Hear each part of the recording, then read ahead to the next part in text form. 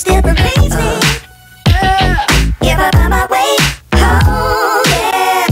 This is the moment uh, for those who.